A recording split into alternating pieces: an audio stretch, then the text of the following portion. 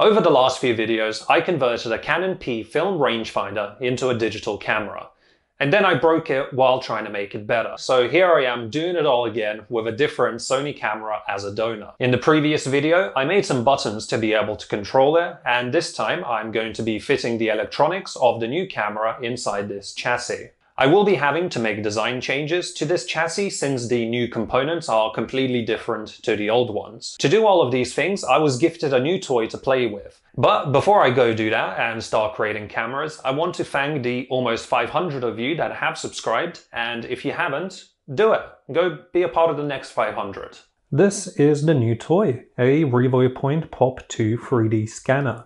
Normally, a 3D scanner is not necessary to mount a circuit board to a 3D printed part, but in my case, everything is packed so close together that there is no wiggle room.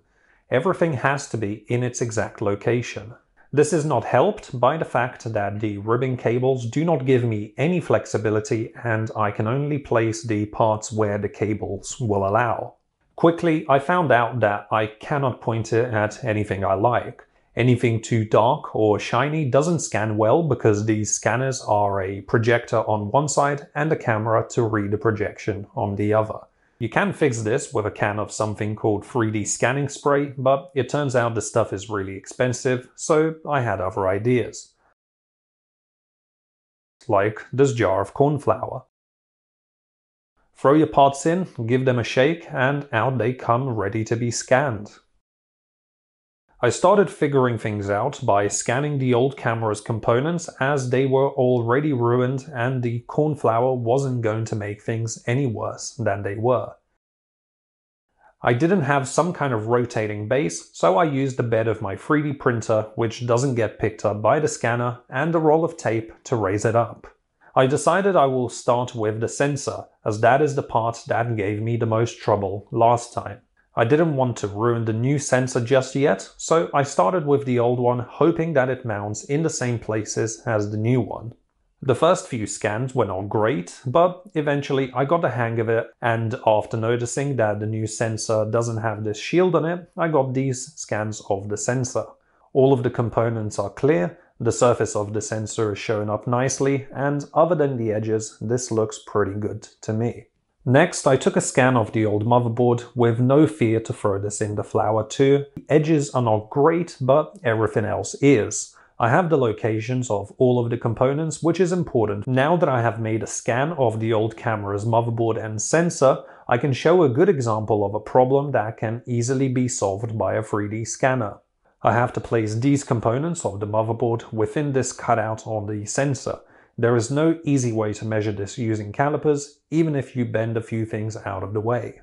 I was able to measure the locations of the mounting points if they were the same height, but I could not measure the components which were at different heights to each other. So I spent a lot of time moving the parts around in the last version until I got them in the right place, but this time with the 3D scanner I should be able to get this right the first time.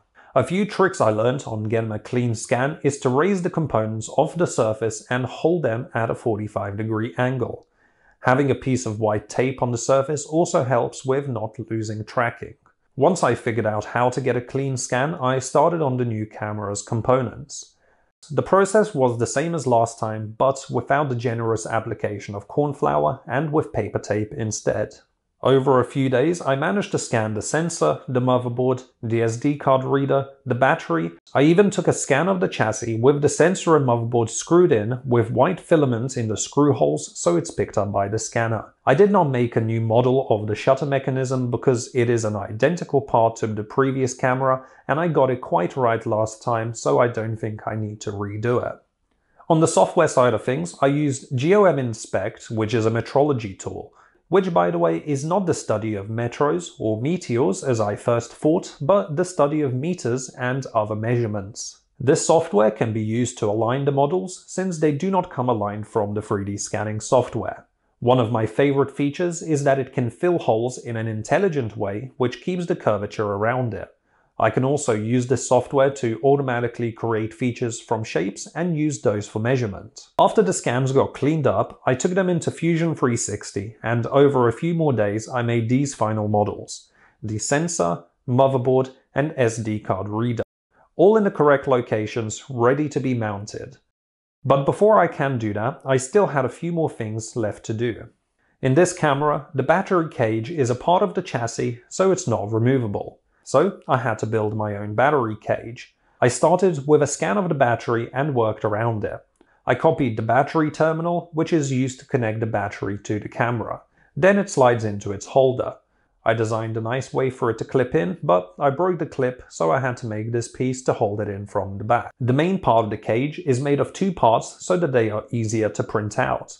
There is a locating pin and two screws to hold it together. The terminal and its holder screw into the top of it and then the whole thing slides into the chassis and screws into for good measure. I also made a mount for the SD card reader in the new location. I could not mount this directly to the chassis, so I had to build this bracket which goes underneath the motherboard, then the SD card reader screws into that. Now it was finally time to print some test pieces. I started printing out the battery cage which came out great in its two parts. Then I sliced out a part of the chassis to get a partial test print going so I didn't have to wait the full 13 hours to find out if I'm right or wrong. Two hours later, I found out I wasn't wrong. The terminal fits into its holder without issues. I can screw together both of the parts of the cage and add the clip into it. Then it slots into the test piece so that I can make sure it all works together.